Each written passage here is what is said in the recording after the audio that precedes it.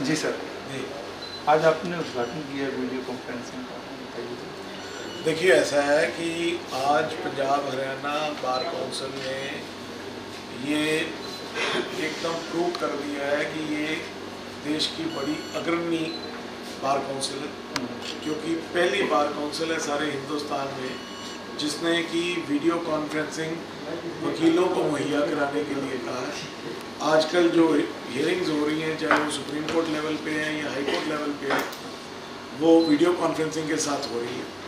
यहाँ से वकील ना कि पंजाब हरियाणा हाई कोर्ट में पेश हो पाएँगे, बल्कि सुप्रीम कोर्ट में भी हो पाएँगे और और देशों की अदालतों में भी हो पाएँगे। ये बड़ा प्रोग्रेसिव स्टेप है। और मैं अपने चेयरमैन को चेयरमैन साहब को इस बात की बधाई देता हूँ और दूसरे मेंबरगण जिन्होंने बहुत ज़्यादा इसके अंदर सहयोग दिया है उनको भी बहुत ज़्यादा बधाई के पात्र हैं। थोड़ा बताइए भी वीडियो कॉन्फ्रेंसिंग के ज़रिए आपने आज और काफ़ी है। जैसे जी साहब ने बताया अभी आजकल वर्चुअल हियरिंग चल रही है कोर्स की। वो सब थ्रू वीडियो कॉन्फ्रेंसिंग सो हमने कोशिश की है रूम्स बनाए हैं दो भी ब्लड के पास ये नई फैसिलिटी है वो यहाँ पे आ सकते हैं। ठीक है नई फैसिलिटी आगे हम इसको और भी भेज देंगे तो अब यदि कोर्ट का यानी कि जो निपटने के लिए क्या वीडियो कॉन्फ्रेंसिंग के ज़रिए काम यहाँ यहाँ से चलेगा सारा। क्योंकि सारी कोर्ट्स की वर्किंग वीडियो कॉन्फ्रेंसिंग चल रही है। तो हमने यहाँ पे रूम बना दिए हैं सेपरेट रूम्स हैं और भी ऐड कर देंगे जो कि सैनिटाइज रेगुलरली ताकि जो एडवोकेट के पास फैसिलिटी नहीं है they can come here and avail facility free of cost lockdown four ਦੇ ਵਿੱਚ ਕਈ ਤਰ੍ਹਾਂ ਦੀਆਂ ਰਿਲੈਕਸੇਸ਼ਨ ਦਿੱਤੀਆਂ ਗਈਆਂ ਨੇ ਪਰ ਹਾਲੇ ਤੱਕ ਜਿਹੜੇ ਕੋਰਟ ਨੇ ਉਹ ਪੂਰੀ ਤਰ੍ਹਾਂ ਵਰਕਿੰਗ ਨਹੀਂ ਹੋ ਪਾਏ ਨੇ ਇਸ ਦਾ ਕਿੰਨਾ ਅਸਰ ਜਿਹੜਾ ਹੈ ਉਹ ਵਕੀਲਾਂ ਤੇ ਪੈ ਰਿਹਾ ਹੈ, ਨਾਲ ਹੀ ਜਿਹੜੇ ਪਟੀਸ਼ਨਰਸ ਨੇ ਉਹਨਾਂ ਤੇ ਪੈ ਰਿਹਾ ਹੈ। ਸਾਡੇ ਨਾਲ ਪੰਜਾਬ ਏਜੀ ਅਤੁਲ ਨੰਦਾ ਨੇ ਨਾਲ ਹੀ ਚੇਅਰਪਰਸਨ ਬਾਰ ਕੌਂਸਲ ਦੇ ਨੇ ਸਾਡੇ ਨਾਲ ਕਰਨਜੀਤ ਜੀ ਉਹਨਾਂ ਨਾਲ ਗੱਲਬਾਤ ਕਰਾਂਗੇ ਸਰ ਅੱਜ ਦੋ ਵੀਡੀਓ ਕਾਨਫਰੈਂਸਿੰਗ ਰੂਮ ਜਿਹੜੇ ਨੇ ਉਹ ਇਨੋਗਰੇਟ ਕੀਤੇ ਨੇ ਕਿਸ ਤਰ੍ਹਾਂ ਵੀਡੀਓ ਕਾਨਫਰੈਂਸਿੰਗ ਦੇ ਨਾਲ ਜਿਹੜਾ ਹੈ ਸੁਣਵਾਈਆਂ ਦਾ ਦੌਰ ਜਾਰੀ ਹੈ ਤੇ ਕੀ ਸਾਰੇ ਕੇਸਿਸ ਜਿਹੜੇ ਨੇ ਇਹਦੇ ਵਿੱਚ ਅਟੈਂਡ ਕੀਤੇ ਜਾ ਰਹੇ ਨੇ?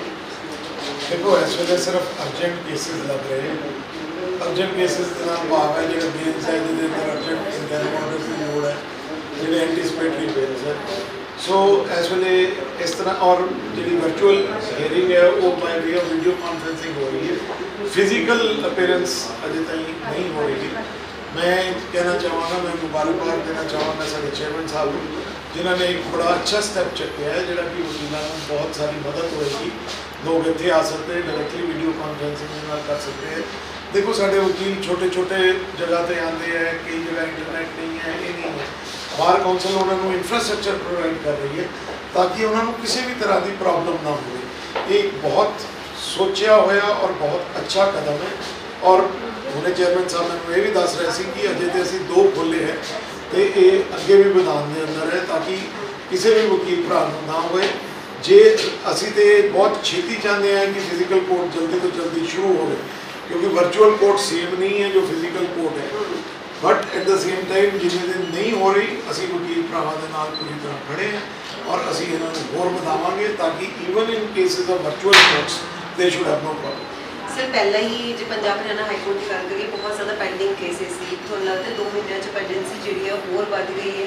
ਨਾਲੇ ਕਿੰਨੀ ਜਲਦੀ ਔਰ ਕਿੰਨਾ ਜ਼ਰੂਰੀ ਹੈ ਕੋਰਟ ਜਲਦੀ ਤੋਂ ਜਲਦੀ ਓਪਨ ਹੋਵੇ ਦੇਖੋ ਮੈਡਮ ਦਿਸ ਇਜ਼ ਨਾਟ ਇਹ ਪਾਰਟਿਕੂਲਰ ਜਿਹੜੀ ਗੱਲ ਹੈ ਪੰਜਾਬ ਹਰਿਆਣਾ ਹਾਈ ਕੋਰਟ ਦੀ ਨਹੀਂ ਇਹ ਤੇ ਪ੍ਰੋਬਲਮ ਸਾਰੇ ਹਿੰਦੁਸਤਾਨ ਦੀ ਜੁਡੀਸ਼ਰੀ ਹੈ।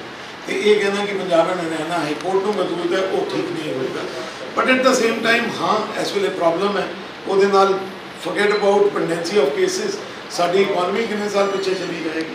ਸੋ ਇਹਦੇ ਇਫੈਕਟਸ ਤੇ ਹੈ but at the same time I am sure ਵਕੀਲਾਂ ਦੀ ਮਦਦ ਦੇ ਨਾਲ, ਜੱਜ ਸਾਹਿਬਾਨ ਦੀ ਦੀ ਮਦਦ ਦੇ ਨਾਲ, ਅਸੀਂ ਛੇਤੀ ਕਵਰ ਕਰ ਲਾਂਗੇ ਮੇਬੀ 3 4 5 ਮੰਥਸ ਕਰਨਜੀਤ ਜੀ ਜੇ ਗੱਲ ਕੀਤੀ ਜਾਵੇ, ਕਿੰਨੇ ਐਡਵੋਕੇਟਸ ਪੰਜਾਬ, ਹਰਿਆਣਾ ਜਾਂ ਫਿਰ ਕਹਿ ਸਕਦੇ ਕਿੰਨੇ ਜਿਨ੍ਹਾਂ ਨੂੰ ਲਾਇਸੈਂਸ ਦਿੱਤੇ ਹੋਏ ਨੇ ਹੋਣਗੇ, ਤੇ ਨਾਲ ਹੀ ਕਿਸ ਤਰ੍ਹਾਂ ਹੈਲਪ ਜਿਹੜੀ ਕੀਤੀ ਜਾ ਰਹੀ ਹੈ? ਕਿਉਂਕਿ ਹਰ ਐਡਵੋਕੇਟ ਅਜਿਹਾ ਨਹੀਂ ਹੋਣਾ ਕਿ ਬਹੁਤ ਜ਼ਿਆਦਾ ਅੱਛੀ ਉਹਨਾਂ ਦੀ ਅਰਨਿੰਗ ਹੋਵੇਗੀ।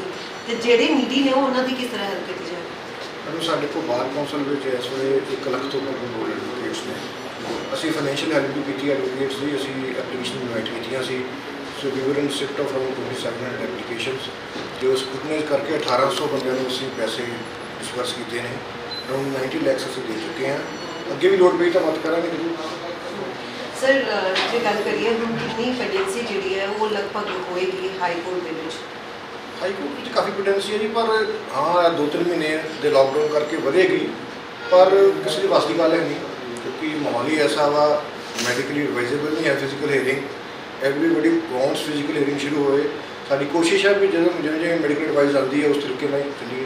ਸਰ ਬਹੁਤ ਸਾਰੇ ਐਡਵੋਕੇਟਸ ਅਪੀਲ ਵੀ ਕਰ ਰਹੇ ਨੇ ਕਿ ਜਿਹੜੀਆਂ ਕੋਰਟਸ ਹੈ ਉਹ ਵੀ ਖੋਲ ਦਿੱਤੀਆਂ ਜਾਣ, ਜਿਵੇਂ ਦੂਸਰੀ ਥਾਵਾਂ ਤੇ ਗਾਈਡਲਾਈਨਸ ਇਸ਼ੂ ਕੀਤੀਆਂ ਗਈਆਂ ਨੇ, ਉਵੇਂ ਹੀ ਕੋਰਟਸ ਜਿਹੜੀਆਂ ਓਪਨ ਕਰ ਦਿੱਤੀਆਂ ਜਾਣ, ਪਰ ਕੁਝ ਪ੍ਰੀਕਾਸ਼ਨਸ ਲੈਣੇ ਮੈਡਮ, ਜਦੋਂ ਲਾਕਡਾਊਨ ਸ਼ੁਰੂ ਹੋਇਆ ਸੀ, ਸਾਡੇ ਸਿਰਫ 5-6 ਕੇਸ ਲੱਗਦੇ ਹੁੰਦੇ ਸੀ ਬਟ ਐਟ ਪ੍ਰੈਜ਼ੈਂਟ ਇਹ ਵੱਧ ਕੇ around more 100 case are registered on video conferencing ਤੇ ਸਾਨੂੰ ਚੀਫ ਸਾਹਿਬ ਨੇ ਵੀ ਕਿਹਾ ਵੀ ਸੁਧਾਰ ਕੇ ਨੂੰ 150 ਲੈ ਜਾਵਾਂਗੇ ਫਿਜ਼ੀਕਲ ਕੋਰਟਸ ਦੀ ਵੀ ਟ੍ਰਾਇਲ ਸ਼ੁਰੂ ਕਰਨੀ ਪਏਗੀ ਸਾਨੂੰ। ਕਿਉਂਕਿ ਜਿੰਨੇ ਦੇਰ ਕੋਰਟਸ ਬੰਦ ਰਹਿਣਗੀਆਂ ਉਹਨੇ ਤੇ ਨੁਕਸਾਨ ਤੇ ਲਿਟੀਗੈਂਟ ਦਾ ਵੀ ਹੈ ਤੇ ਵਕੀਲਾਂ ਦਾ ਵੀ ਹੈ so and it amounts to denial justice also ਪਰ ਮਾਹੌਲ ਐਸਾ ਵਾ, ਸਾਨੂੰ ਬਹੁਤ ਹੀ ਤਰੀਕੇ ਨਾਲ, ਬਹੁਤ ਹੀ ਸੋਚ ਸਮਝ ਕੇ ਫੈਸਲੇ ਲੈਣੇ ਪੈਣਗੇ ਤਾਂ ਕਿ ਕਿਸੇ ਦਾ ਨੁਕਸਾਨ ਵੀ ਨਾ ਹੋਵੇ ਤੇ ਸਾਡੀ ਵਰਤਨ ਵੀ ਸ਼ੁਰੂ ਹੋ ਜਾਵੇ।